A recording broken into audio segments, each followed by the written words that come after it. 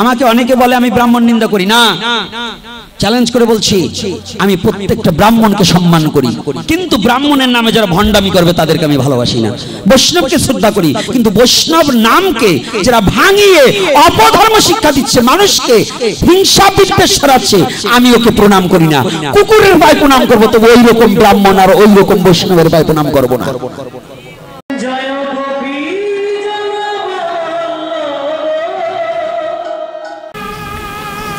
ব্যাসদেবের কোনটা? আমাদের তো আজকাল চট্টোপাধ্যায়, বঙ্গোপাধ্যায়, চ্যাটার্জি, ব্যানার্জি, রায়, চৌধুরী টাইটেলের আর অভাব নাই। আচ্ছা আপনি বলুন তো, কৃষ্ণ দৈপায়ন বেদব্যাস কি ব্রাহ্মণ ছিল না? পরাশর কি ব্রাহ্মণ ছিল না? ছিল কি না? বৈশিষ্ট্য কি ব্রাহ্মণ ছিল না? তাদের নামের পিছনে কি এই টাইটেলগুলো আছে নাকি? আছে বাবা? আছে নাকি? তখন রায় চৌধুরী এগুলো কোথায় ছিল? সাহাকুণ্ডু ব্রাহ্মণ এগুলো কোথায় ছিল? এই টাইটেল যত বল্লাল সেনের পরে, বল্লাল সেনের থেকে এই টাইটেলগুলো আগে ছিল না। আগে যোগ্যতা বলে যার যার যোগ্যতার অনুপাতে সেই মনুষ্যত্ব অর্জন করার জন্য সাধনা করত। আর এখন হচ্ছে আমরা জাতাজাতি ঠেলাঠেলি নিয়ে মরছি, কিন্তু মূল তত্ত্বটাকে উপলব্ধি করার চেষ্টা করি না। যখনই জিজ্ঞাসা করে সে আসন্ন মৃত্যু ব্যক্তির কি কর্তব্য শ্রীল সুখদেব গোস্বামী প্রভুপাদ বললেন, সাধু সাধু সাধু। কাকে বলছে? মহারাজ পরীক্ষিতকে তিনবার বললেন, সাধু সাধু সাধু। মহারাজ পরীক্ষিত চুমকে উঠেছে, করজের বিনয় করে বলছে, মুনিবার মুনিবার এ জীবনে তো অভিশপ্ত জীবনে কোনোদিন সাধু হওয়া যায় না।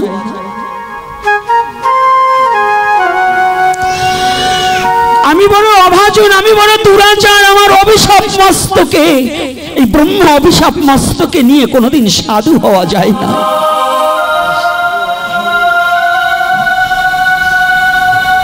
আপনি বলছেন আমি সাধু হয়েছি? সাধু হতে হলে যে যোগ্যতার প্রয়োজন, সে যোগ্যতা আমার নেই। কথাগুলো একটু ভালো করে শুনে রাখুন।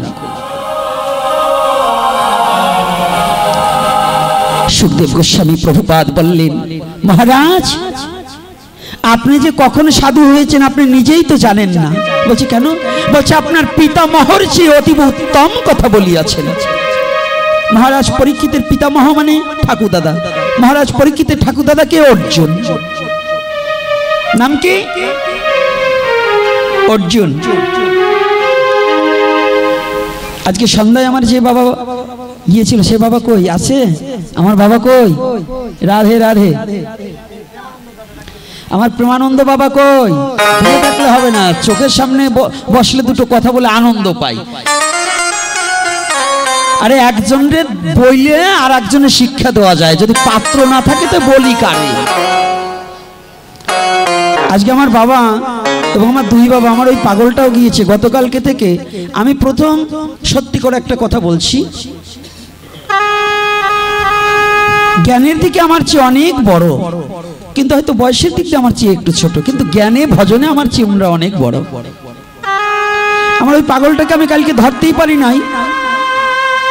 ও যে এত অভিমান শূন্য হয়ে আর নিজের অহংকার শূন্য হয়ে যে সবার সাথে মিশতে আমি ধরতেই পারিনি যে তো চক্রবর্তী কুলে জন্ম। আজকে গতকাল দণ্ডবোধ করেছে তখন আমি বুঝতে পারিনি। সত্য কথা, আমি এবার ওইটা নিয়ে ভাবি না। তা আজকে যখন আমার ছেলে ওর কাছে জিজ্ঞাসা করেছে, দাদা, আপনার নাম কি? যখন বলেছে তখনও বুঝতে পেরেছি, তার আগে আমি বুঝতে পারি তাই গিয়েছে বাবা অনেক। আজকে এত মধুময় কিছু আলোচ্য বিষয় ছিল, দু বাব্যটা করেছি, ঘরে বসে বসে। যদি সময়টা পেতাম, আরও কথা বললে, আনন্দটা আমার আরও বৃদ্ধি পেত, আমার জানাশোনা হতো। আমার অনেক কিছুই তো অজানা, তাই জানবার অভিপ্রায়। আজকে পিতামহ হচ্ছে ঠাকুর দাদা তো অর্জুন হচ্ছে পরীক্ষিতের ঠাকুর দাদা পরীক্ষিতের বাবার নাম কি? অভিমন্যু। তো অভিমন্যুর পিতাকে অর্জুন। এইবার অর্জুন হচ্ছে ভগবান শ্রীকৃষ্ণের সখা। নাকি? গীতায় বলেছে, ভগবান সম্মুখে বলেছে হ্যাঁ অর্জুন, আমি নরের মধ্যে অর্জুন। কি বলছে না? নরের মধ্যে আমি অর্জুন। তো অর্জুনকে যিনি ভগবত তত্ত্ব অর্জন করিয়াছে। অর্জুন কিন্তু আলাদা না, কুন্তির ছেলে কিন্তু অর্জুন এটাই বুঝায়নি। অর্জুনকে, অর্জুন আজও আছে। কে? যিনি ভগবত তত্ত্ব অর্জন করতে পারে, তিনি অর্জুন হতে পারে। তমেব মাতা চ, পিতা তমেব, বন্ধুচ্চ শাখা তমেব। তাহলে অর্জুন যদি ভগবানের শাখা হতে পারে, তুমি যদি ওই তত্ত্ব উপলব্ধি করতে পারো, ভগবানের সাথে তুমি কি শাখা হতে পারো না? পারো কি না? হ্যাঁ যুবক ছেলে, ভালো করে বুঝতে হবে। তুমি যে ধর্মে জন্মগ্রহণ করেছ, এর চেয়ে কোথায় এত ভালো কিছু পাবে গো? যে ধর্মে ভগবানের সাথে বন্ধুত্ব করা যায়। রাধে রাধে।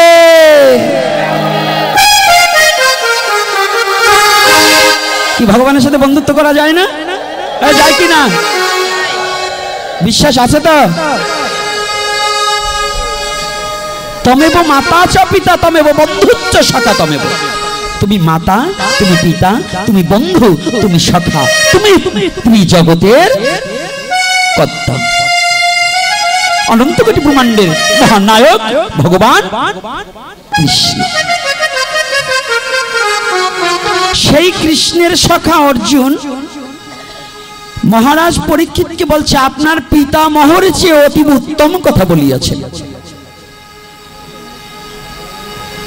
এখন এইটা ঠাকুর দাদার চেয়ে নাতি ভালো কথা বলতে পারে? বলছি, এটা কেমন করে? বলছে, মহারাজ সুখদেব গোস্বামী প্রভুপাত বলছে, মহারাজ, হরিণীর নাভিতে কস্তুরী জন্মায়, কস্তুরীর ঘ্রাণে হরিণী বনে বনে ভ্রমায়।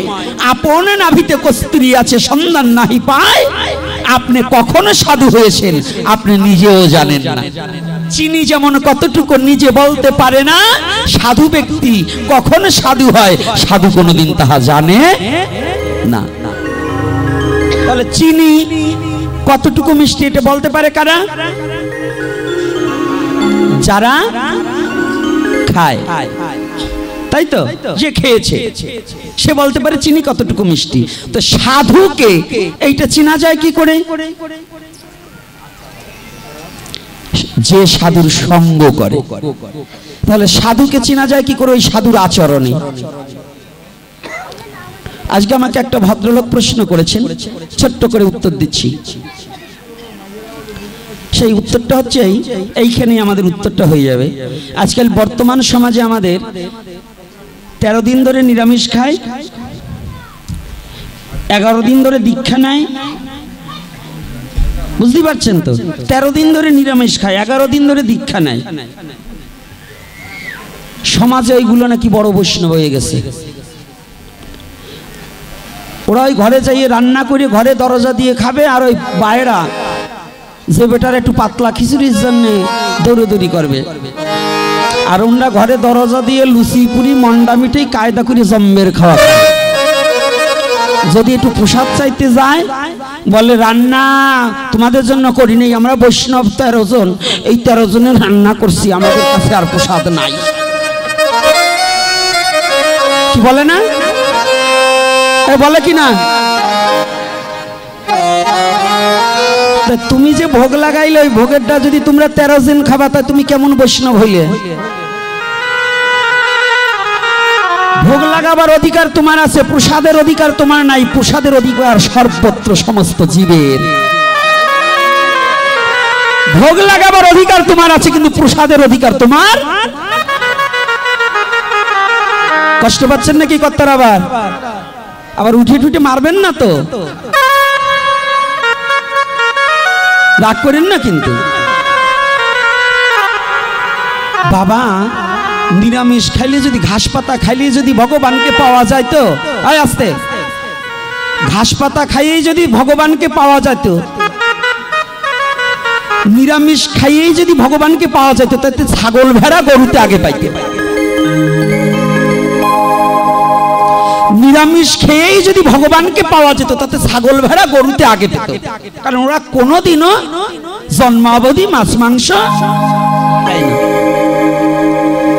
এখন তো এক গ্রুপ, তাহলে কি আপনি কি মাছ খান নাকি? না, একটু বোঝার ভুল আছে। সনাতন ধর্মের শ্রীমদ ভগবত গীতায় দৈবাসুর সম্পদ বিভাগযোগ ষোড়শ অধ্যায় এবং সপ্তদশ অধ্যায় খাদ্যের গুণগত মান নির্ণয় করা আছে। আছে কি না যারা গীতা অধ্যয়ন করেন, আছে? কোন খাদ্য খাইলে অসুরত্ব প্রবৃত্ত হইবে, কোন খাদ্য খাইলে দৈব ভাবে ভাবাপন্ন হইবে। সাত্বিক রাজস্বিক, তামসিক, তিন প্রকারের খাদ্যের নির্ণয় করা শ্রীমদ ভগবত গীতায় আছে। আর এই গীতাকে যারা অস্বীকার করে, জানবে ওদের ভেজাল আছে জন্মে। সনাতন ধর্মে জন্মগ্রহণ করে গীতাকে যারা অস্বীকার করে, ওদের জন্মে ভেজাল আছে। সে ব্রাহ্মণী হোক, বৈষ্ণবী হোক, আর নমই হোক, সারাল চৌধুরী যেটাই হোক, সনাতন ধর্মে জন্মগ্রহণ করে, যদি সে গীতাকে অস্বীকার করে, ওর জন্মে ত্রুটি আছে, ও সঠিক বাবার সন্তান না। কথাটা বোঝেন, এই বাংলার বুকে কেউ এইভাবে বলতে সাহস পাবেন আমি বলে গেলাম। ইতিহাস করে দিয়ে গেলাম বাংলার বুকে। বাংলার বুকে ইতিহাস করে দিয়ে গেলাম। ভয় পেয়ে কথা বলব? না, যেটা সত্য সেটাকেই বলব। আর সত্য প্রতিষ্ঠা করাই সনাতন ধর্মের একান্ত কর্ম। তাহলে রাজস্বিক তামসিক সাত্বিক তিন প্রকারের খাদ্য যখন নির্ণয় করেছে প্রতিটা মানুষের স্বভাবেরও তো নির্ণয় করেছে, তাই না বাবা? রাজসিক, তামসিক সাত্বিক তিন প্রকারের ভাব আছে না? তো বৈষ্ণব নিরামিষ খেলো ঠিক, কিন্তু মনের হিংসা দূর করল না। পরনিন্দা, পরচর্চা দূর করল না। এই এক গ্রুপ বৈষ্ণব আছে, ওরা সমাজকে লুটিয়ে খাচ্ছে। ওই বাড়ি ভোগ লাগাইলে বৈষ্ণব ছাড়া হবে না, ওই বৈষ্ণব গেছে। ওই বৈষ্ণবরে নিমন্ত্রণ করতে গেছে, দাদা নিমন্ত্রণ কয় কারে কারে বলছো? অমুক, অমুকে। বলছে, অমুকরে বললে আমি যাব না। আছে কি না? ওই চৈতে বৈষ্ণব সুবইতে সুবইতে দম বাইর করে দেওয়া উচিত। ওটা হলো হারামজাদা নাম্বার ওয়ান ওখানে বৈষ্ণব নয়, শয়তান। ওই বৈষ্ণব সেবা না দিয়ে শয়তানের সেবা করবেন, ওই এর কয়টা নিমন্ত্রণ করে খাওয়াই দেবেন। আজকে একটা আপনাদের একেবারে ভালো একটা বুদ্ধি দেই। বৈষ্ণব সেবা তো পারবেন না, এখন বর্তমান কিছু শয়তান সেবা মানুষই করা দেবেন। যদি কারও ছেলে মেয়ের অসুখ বিসুখ হয়, বলবেন যে, কর্তা, আমি ভগবানের কাছে মানুষই করছি। আগে বলবেন না। ওই, আমি একটু শয়তানের সেবা দেবো। তা আগে বলবেন না যে নিমন্ত্রণ করে আসবেন? কোনগুলোর নিমন্ত্রণ করবেন বলে দিচ্ছি আজকে মার কামাইরি রাখবেন। যারা সমাজের মাঝে বিশৃঙ্খলা বাধায়, যারা জাতি হিংসা করে, যারা মানুষকে ঘৃণা করে, যারা ভগবত ভক্তের প্রতি জাতি বিদ্বেষ ছড়ায়, ভাগবত ভক্তের কোনো জাতি জাত জাতপাত নেই। যেই ভজে সেই ভক্ত আর সব ছাড়, কৃষ্ণ ভজনে নাই জাতি কুলাদি বিচার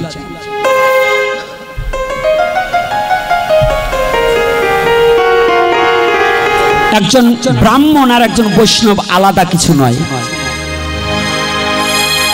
কয় বৈষ্ণবরা ব্রাহ্মণের রান্না খায় না। কে বলছে খায় না? কে বলছে? একটু দাঁড়িয়ে বলুন তো যে আমি খাই না। কে খায় না? কোন বৈষ্ণব খায় না? আবার বলবে, ব্রাহ্মণেরা বৈষ্ণবের রান্না খায় না। কে কই বলছে খায় না? কে বলছে খায় না? আমার নিত্যানন্দর চেয়ে আবার ব্রাহ্মণ এই বঙ্গে কে আছে গো? আমার নিত্যানন্দ প্রভুর চেয়ে আবার কে ব্রাহ্মণ আছে? সেই ব্রাহ্মণটাকে আমি একটু দেখতে চাই। আমার মহাপ্রভুর চেয়ে আবার ব্রাহ্মণ কে আছে গো? কে সেই ব্রাহ্মণ? আমার মহাপ্রভু বললেন, ভক্তের উচ্ছিষ্ট প্রভু কারি কারি খায়, অভক্তের দ্রব্য পানে ফিরে নাকি চায়। জানো? তুমি যে যুগে জন্মগ্রহণ করেছে, জানো? সেই যুগের মর্ম জানো? সেই যুগের ধর্ম জানো? এই কলিযুগের ধর্ম আর এই কলিযুগের মর্মটা কি জেনেছ?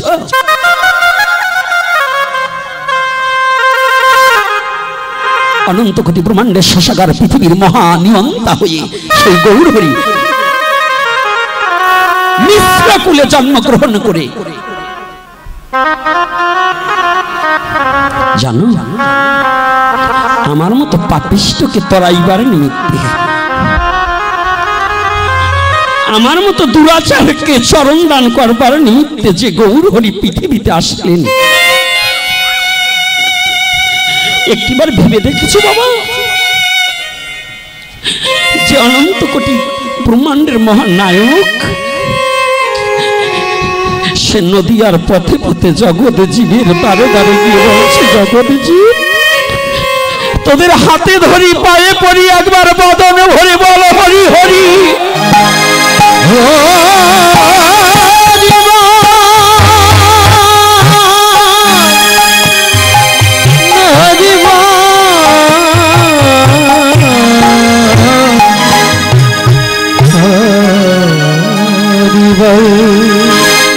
আমার গৌর হরি জগৎ জীবের ওই নদী আর পথে পথে জাত পাত দূর করে ধুলায় ধূসারিত হয়ে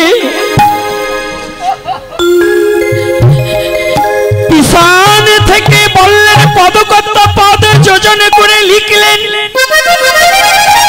কবে বাঁচিল এমন রঙ্গ?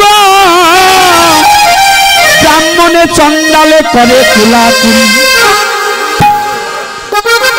কবে? কবে ছিল এমন রঙ্গ? কোন যুগে ছিল গো? সমস্ত ব্রাহ্মণ চন্ডালে একাকার হয়ে আজকে এই বসার জায়গাটা কে করে দিয়েছে? আজকে দেখুন, হিতের কর্তা প্রহিত। এই বাবারা এখানে এসে বসে। হরি কথা, এটা কার অবদান? আমার গৌর হরির অবদান। আমার মহাপ্রভুর অবদান। আমার দয়াল নিতাই চাঁদের অবদান। ব্রাহ্মণ হোক আর বৈষ্ণব হোক। ও বৈষ্ণব, তুমি কি মহাপ্রভুর শিক্ষাষ্টক পড়নি?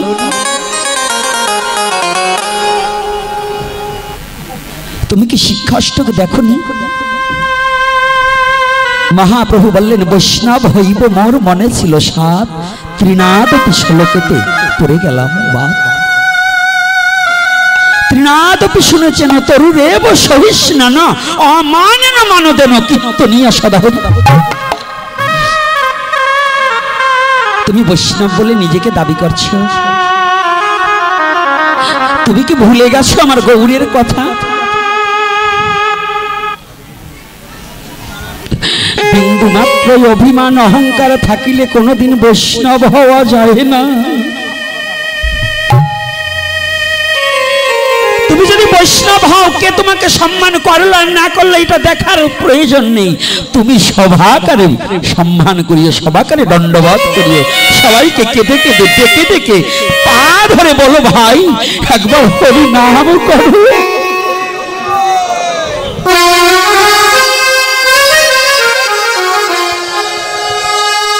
এটাই বৈষ্ণব ধর্মের রীতি গো।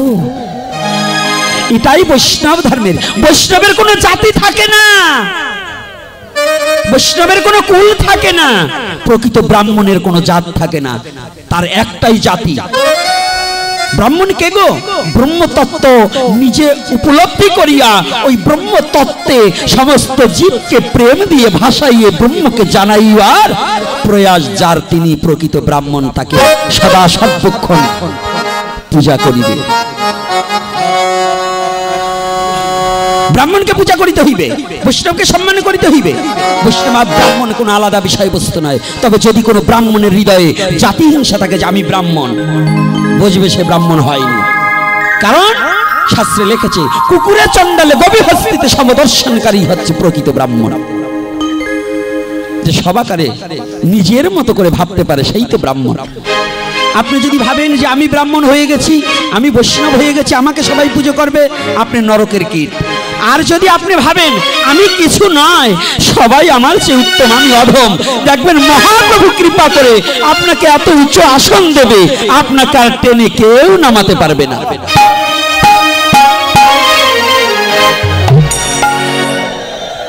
কেউ নামাতে পারবে না। এ বলছে সনাতন ধর্মে। এই জাতি হিংসার কারণে সনাতন ধর্মটাকে এতটা আমরা আজ নির্যাতিত হচ্ছি। ইতিহাস পড়তে হবে। বাংলার ইতিহাসে পাবেন না সনাতন ধর্মের তত্ত্ব। বাংলার বয়স হয়েছে মাত্র বাহান্ন বছর। এই বাহান্ন বছরের তত্ত্বতে কোনোদিনও সনাতন ধর্মের তত্ত্ব পাবেন না। বাংলার ইতিহাস পড়ে কোনোদিন সনাতন ধর্মের আর্য মহর্ষিতে ধার্য করা অনুশাসিত পথ খুঁজে পাবেন না। কোটি কোটি বছর আগে সনাতন ধর্ম। যখন কোনো সাল ছিল না, বঙ্গাব্দ ছিল না, খ্রিস্টাব্দ ছিল না হিজড়ে ছিল না, তখন থেকে সনাতন ধর্ম প্রবাহমান হয়ে আসছে। আর সেই সনাতন ধর্মে জন্মগ্রহণ করে আপনি, আমি জাতিহিংসার প্রলোভনে পড়ে নিজের অহংকারের বৈষ্ণবত্ব দেখাতে গিয়ে, ব্রাহ্মণত্ব দেখাবার গিয়ে নিজের সনাতন ধর্মকে শেষ করতে বসেছি। এটাকে পরিত্যাগ করুন। আজকে আমাকে বলেছে, বাবা, এ কথা বলতেই হবে। আমাদের সমাজে দুরবস্থা, এই দুরবস্থাগুলো। আজকে যারা এই যে হিংসা করছেন না, যারা বৈষ্ণব সেজে নিন্দা করছেন, ব্রাহ্মণ সেজে নিন্দা করছেন, আমাকে অনেকে বলে, আমি ব্রাহ্মণ নিন্দা করি। না চ্যালেঞ্জ করে বলছি, আমি প্রত্যেকটা ব্রাহ্মণকে সম্মান করি। কিন্তু ব্রাহ্মণের নামে যারা ভণ্ডামি করবে, তাদেরকে আমি ভালোবাসি না। বৈষ্ণবকে শ্রদ্ধা করি, কিন্তু বৈষ্ণব নামকে যারা ভাঙিয়ে অপধর্ম শিক্ষা দিচ্ছে, মানুষকে হিংসা বিদ্বেষ ছড়াচ্ছে, আমি ওকে প্রণাম করি না। কুকুরের ভাই প্রণাম করব, তবে ওই রকম ব্রাহ্মণ আর ওই রকম বৈষ্ণবের ভাই প্রণাম করব না। কষ্ট পাচ্ছেন? কারা? এরা কারা? এই দলগুলোকে চিহ্নিত করে রাখতে হবে। এগুলোকে চিহ্নিত করে রাখতে হবে। কেন চিহ্নিত? একটু রসের কথা না বলে পারছি না। আমাদের সমাজের ব্যবস্থা কিটা কি জানেন? যদি আমার মতো শয়তানের দলে পড়ে, তাই সোজা বানাই আমি আবার সাধু ঠাধু না। সাধু হইতে যে গুণের প্রয়োজন, সে গুণ আমার নাই। আমার দেখেন না, যা যত সময় বক বক করছি, সব হইল পরের নিন্দা চর্চা করছি। তা আমি কি সাধু হবার পারি?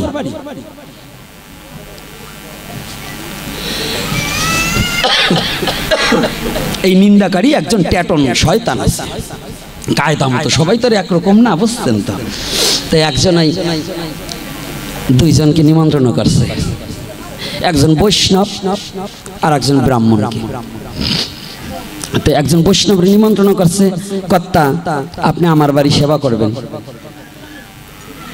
তো নিমন্ত্রণ করাবার সময় উনি এবার বলছে যে, আমি তো অমুক ব্রাহ্মণরে বলব লোক কেমন? তো বৈষ্ণব বলতে "হেই, তুমি আর লোক পেলে না ও তো আস্তে একটা গরু। ওরে তুমি নিমন্ত্রণ করবা? ও তো আস্তে একটা গরু মানে বৈষ্ণব বলছে ওই ব্রাহ্মণের কথা ও তো আস্তে একটা গরু। তো ট্যাটন লোক তো ওইটা তৈরি রয়েছে মেমোরিতে। উনি চলে এসে এইবার ব্রাহ্মণ বাড়ি গেছে ব্রাহ্মণকে নিমন্ত্রণ করতে গেছে। কর্তা কি? আপনার নিমন্ত্রণ আগামী দিন দুপুরে মধ্যাহ্নকালীন আপনারা সেবা করবেন। গেছে গেছে। তো আবার আবার দৌড়ে যে বলছে, কর্তা, আমি তো অমুক বৈষ্ণবের নিমন্ত্রণ করছি। তো সেই বৈষ্ণব কেমন? আমি ব্রাহ্মণ, বর্ণশ্রেষ্ঠ ব্রাহ্মণ আমার নিমন্ত্রণ করছ। ওই ছাগলের আবার নিমন্ত্রণ করছ কেন? ও তো আস্তে একটা ছাগল। এখন ট্যাটুল লোক মনে মনে চিন্তা করছে, আমি ধর্ম করবার সেই অধর্মে পড়ে গেলাম। কারণ আমি করাবো ব্রাহ্মণ সেবা, বৈষ্ণব সেবা। তো এই দুটো একটা কয় ছাগল, একটা কয় গরু। তো আমি তো বৈষ্ণব আর ব্রাহ্মণ খাওয়াবো, তো গরু, ছাগল তো খাওয়াবো না। তো নিমন্ত্রণ যখন করিয়ে বইছি, তো তো খাওয়াইতে দুটো হবে। কি বাবা, নিমন্ত্রণ করলে খাওয়াইতে হবে না? বলেন। বলেন বলেন তো এইবার ওই ট্যাটন লোক করছে কি রান্না বাড়ার সমস্ত জোগাড় করিয়ে, রান্না না করিয়ে ওই একটা ঝুড়ির মধ্যে কয়টা খোল ভুসি আর ওই খড় দিয়ে সিটে গুড়তে মাখাইয়ে রাখি আর ওই মাঠের তো সুন্দর করে ঘাস ঠাস, কচি ঘাস কাইটে আর একটা ঝুড়ি বইরে রাখিয়ে দিয়েছে। তো ওই দুইজন রে একবার একটু বসবার দিয়ে এটি করে দিয়ে, এবার দুপুরে কর্তারা তো স্নান টেনান করিয়েছে, খুদেও তো পেটে লাগছে।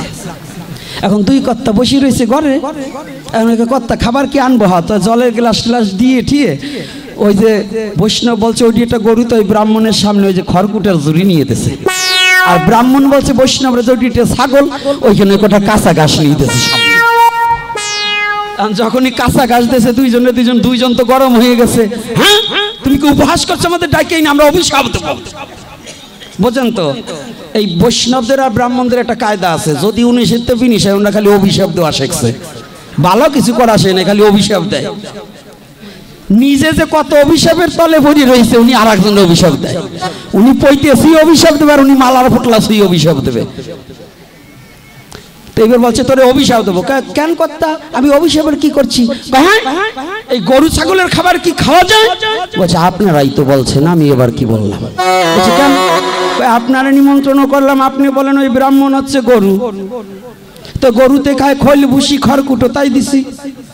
আর ব্রাহ্মণকে নিমন্ত্রণ করছি, আপনার কথা বলছি, ওনাকে নিমন্ত্রণ, উনি বলছে, ছাগল, তাই ছাগলে খায় দুর্বা ঘাস ঠাস, তাই দিছি।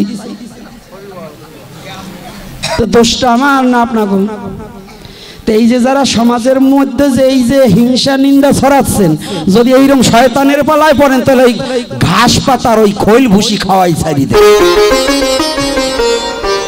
এই জন্য ভালো হন, জাতি হিংসা আর ওই বৈষ্ণবত্ব হিংসা, আমি বৈষ্ণব হয়ে গেছি, এই হিংসাটাকে দূর করুন। না হলে কিন্তু কপালে ওই খোল ভুসি ছাড়া আর কিছু ভালো জুটবে না। জুটবে? একটা গান গাবো নাকি? একটা গান মনে পড়ছে, গাবো, আমার লেখা গান, একটু না গাইয়ে পারছি না, মনে পড়ে গেছে। কি, আপনারা কি বলেন? গানটার ভিতরে কিন্তু ডুবো আসা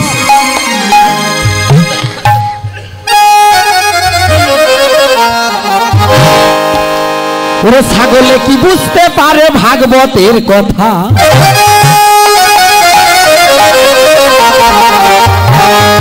বৃষ্টি আসলে এদিক ওদিক ডাকে আর ঘুরায় মাথা। ছাগলে কি করে? ডাকাটা কি করে না? তা আমাদের মধ্যে কিছু মানুষ আছে, ছাগল মার্কা মানুষ, যারা ধর্মের নামে অধর্ম ছড়াচ্ছে, যারা ধর্মের নামে হিংসা ছড়াচ্ছে, জাতি হিংসা ছড়াচ্ছে, মানুষকে মানুষে ভেদাভেদ তৈরি করে দিচ্ছে, মানুষের মধ্যে হিংসা, নিন্দার বীজ বপন করে দিচ্ছে। ওদের উদ্দেশ্যে আমার এই গানটা লেখা, ছাগলে কি বুঝতে পারে ভাগবতের কথা? সকলে কি বুঝতে পারে ভাগবতের কথা? বৃষ্টি আসলে বৃষ্টি আসলে এদিক ওদিক বৃষ্টি আসলে এদিক ওদিক ডাকে আর ঘুরায় মাথা সকলে কি বুঝতে পারে ভাগবতের কথা সকলে কি বুঝতে পারে ভাগবতের কথা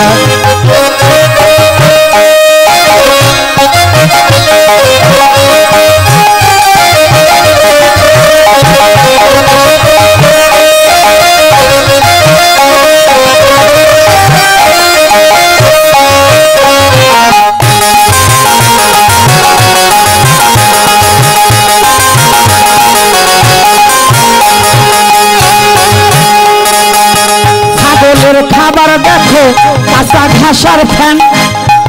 কি? মালপুয়ার লুচি পুরি তারা চিনবে কেন?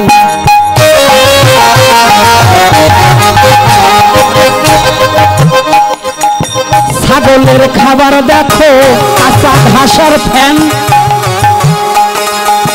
মালপুয়ার লুচি পুরি তারা কেন? ও তারা কুরমা পোলাও মনে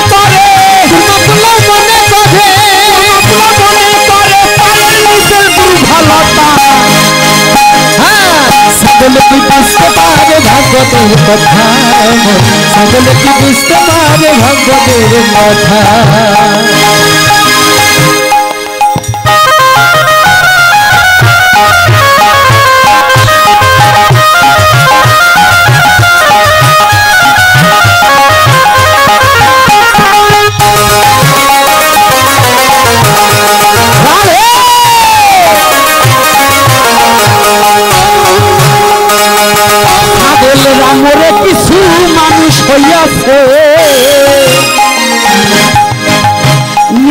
দোষ রাখিয়া গোপন পরের দোষ খোঁজে।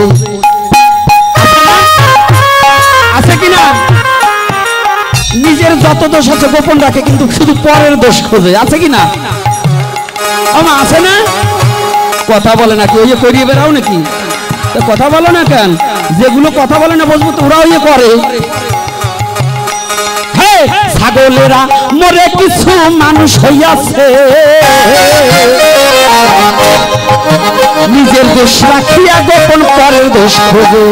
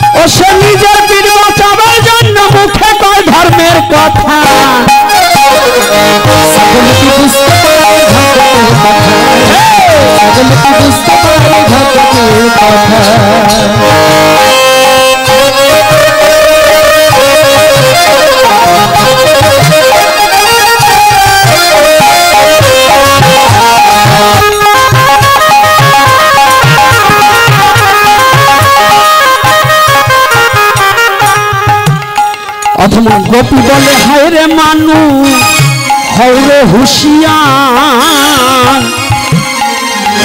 পশুর স্বভাব না ছাড়িলে পাবি না নিস্তার।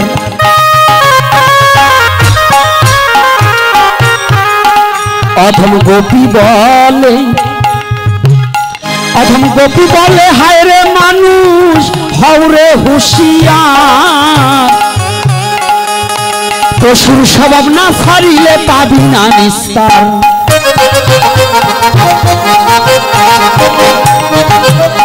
তুমি জৈবনে কালে কি করেছ? তুমি জৈবনে কালে কি করেছ? তুমি জৈবনে কালে কি করেছ? মনে আছে কি রে সে কথা? সকলে কি বুঝতে পারে ভাগবতের কথা? সকলে কি বুঝতে পারে ভাগবতের কথা? বৃষ্টি আসলে এদিক ওদিক। বৃষ্টি আসলে এদিক ওদিক। বৃষ্টি আসলে এদিক ওদিক ডাকে আর ঘুরায় মাথা। সকলে কি বুঝতে পারে ভাগবতের কথা? সকলে কি বুঝতে পারে ভাগবতের কথা? আরে ধীরে ধীরে বসে থাকবেন যত ভক্তগণ। এখনও তো কিছু কথা করিব বর্ণন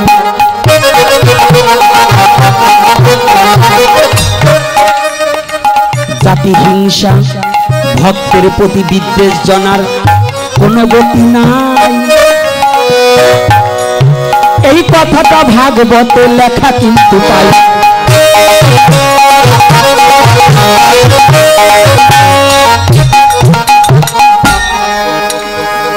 ভক্ত হওয়ার আগে ভদ্র হতে হবে।